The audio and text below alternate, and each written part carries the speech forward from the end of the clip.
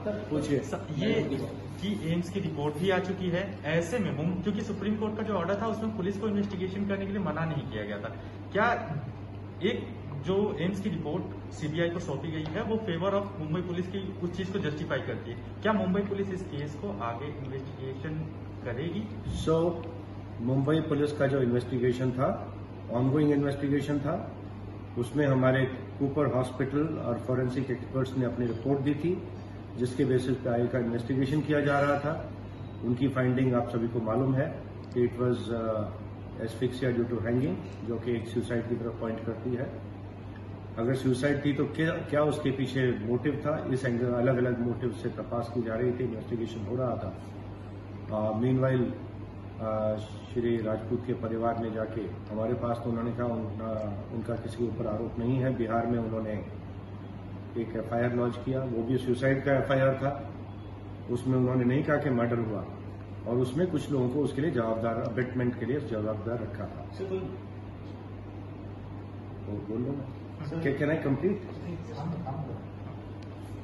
और फिर जब ये मैटर ऑनरेबल सुप्रीम कोर्ट के सामने गया तो सुप्रीम कोर्ट ने हमारी प्रोग्रेस रिपोर्ट मांगी इस केस में। हमने प्रोग्रेस रिपोर्ट दी एक सील्ड एनवेलप में। वो प्रोग्रेस रिपोर्ट सिर्फ़ महाराष्ट्र में पाँच या छह व्यक्तियों ने देखी थी उसके बाद ऑनरेबल सुप्रीम कोर्ट के चीफ जज हो रहा था। मीन वाइल श्री राजपूत के परिवार ने जाके हमारे पास तो उन्होंने कहा उनका, उनका किसी ऊपर आरोप नहीं है। बिहार में उन्होंने एक एफआईआर लॉन्च किया। वो भी सुसाइड का एफआईआर था। उसमें उन्होंने नहीं कहा कि मर्डर हुआ। और उसमें कुछ लोगों को उसके लिए जवाबदार अबेटमेंट के लिए जवाबदार रखा था। तो बोल लो ना। कैन आई कंप्लीट और फिर जब ये मैटर ऑनरेबल सुप्रीम कोर्ट के सामने गया तो सुप्रीम कोर्ट ने हमारी प्रोग्रेस रिपोर्ट मांगी इस केस में। हमने प्रोग्रेस रिपोर्ट दी, एक सील्ड एनवेलप में। वो प्रोग्रेस रिपोर्ट सिर्फ़ महाराष्ट्र में पाँच या छह व्यक्तियों ने देखी थी, उसके बाद ऑनरेबल सुप्रीम कोर्ट के चीफ जस्टिस ने देखी ऑनरेबल सुप्रीम कोर्ट के जस्टिस ने देखी थी। और उस पर उन्होंने सेटिस्फैक्शन व्यक्त की। उन्होंने कहा, मुंबई पुलिस के इन्वेस्टिगेशन में कोई कमी नहीं है, कोई फॉल्ट नहीं है।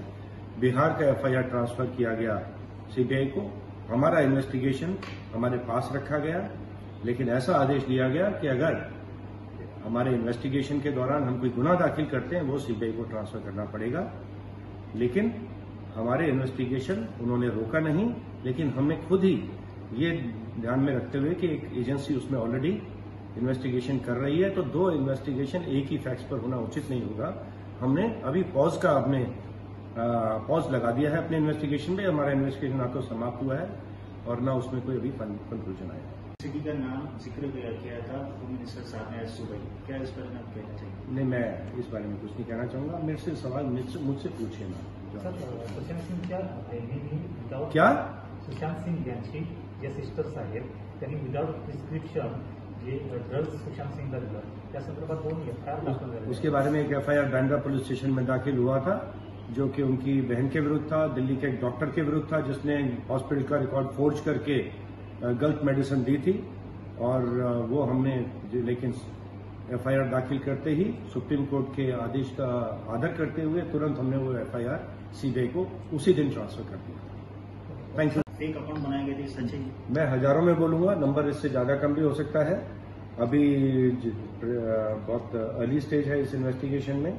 लेकिन डेफिनेटली मतलब इसमें सच्चाई तो सामने आ रही है कि हज़ारों की संख्या में इस प्रकार के अकाउंट्स उससे भी ज़्यादा निकल आए तो मुझे आश्चर्य नहीं हुआ इन अकाउंट्स का इस्तेमाल किया जा रहा था। मुंबई पुलिस का नाम खराब करने के लिए, हमारे को मलाइन करने के लिए, मुंबई पुलिस को डिमोरलाइज करने के लिए। वो भी ऐसे समय में, जबकि मुंबई पुलिस एक बड़ी लड़ाई कोविड से लड़ रही है। 6000 लोग मेरे कोविड पॉजिटिव हुए 84 मेरे लोग शहीद हुए। ऐसे समय में मुंबई पुलिस को डिमोरलाइज करने का प्रयत्न किस षड्य- षड्यंत्र का हिस्सा था? समझ नहीं आता इसके पीछे क्या किसी की चाल थी। जी हाँ। काही राजकीय पक्षांचे आयटी सेल यामध्ये सहभागी असल्याचं काही समोर आलंय. अभी हम आइडेंटिफाई करने का प्रोसीजर चल रहा है। अभी मैं किसी को इसके बारे में ब्लेम या कल्पिट नहीं बोल सकता। सर तुम्हाला असं वाटतं की हे कॅम्पेन फक्त मलाईन करण्यासाठी जाणीवपूर्वक सुरू करण्यात आलं होतं? अगर फेक अकाउंट से किया जा रहा है तो उसका अर्थ यही है और उस पर झूठी खबरें फैलाई जा रही हैं गाली गलौज किया जा रहा है तो उसके पीछे और उद्देश्य क्या हो सकता है? धन्यवाद। सीपी सर जिस तरह से फेक अकाउंट्स की बात आ रही थी ये इन्वेस्टिगेशन कहाँ तक पहुँचा और किस तरह से इन अकाउंट्स को क्रैकडाउन करने की कोशिश हो रही है? सो so, इन्वेस्टिगेशन में अभी तक हमने बहुत से फेक अकाउंट्स आइडेंटिफाई किए हैं जिनका इस्तेमाल मुंबई पुलिस को ट्रोलिंग, उसे ट्रोलिंग नहीं कहूँगा। मुंबई पुलिस को अब्यूज किया जा रहा था, गाली गलौज किया जा रहा था, झूठी खबर फैली जा रही थी, हमारी मुंबई पुलिस को मलाइन किया जा रहा था, और जनता के मन में भी भ्रम पैदा किया जा रहा था इन अकाउंट्स के मार्फत से।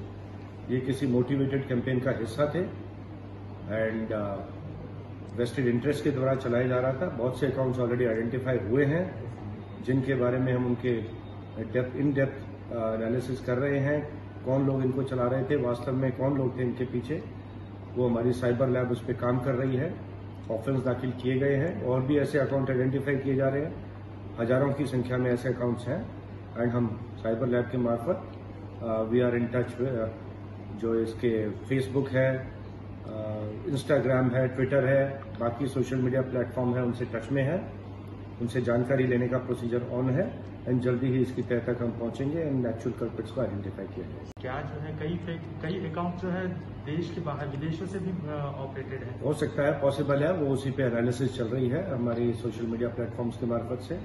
एंड अवश्य शक्यता है कि बाहर के अकाउंट्स भी उसमें हो सकते हैं। सर ये संभावनाएँ हैं कि कोई मोटिवेटेड लोग इसके पीछे हो सकते हैं जिस तरह से हाथरस में भी हुआ वो एक मोटिवेटेड ही दंगा फैलाने की कोशिश कर रहा था। So, क्या यहाँ पे भी अवश्य वेस्टेड इंटरेस्ट इसके पीछे है। मोटिवेटेड कैंपेन था। हमें हमारे फोर्स को मलाइन करने का डिमोरलाइज करने का प्रयत्न किया गया। एंड अवश्य ही मैं कहूँगा कि वेस्टेड इंटरेस्ट है इसके पीछे। सर दो एफ़ ली गई है। किसी को आइडेंटिफाई किया गया? आइडेंटिफाई करने का प्रोसीजर इस समय चल रहा है।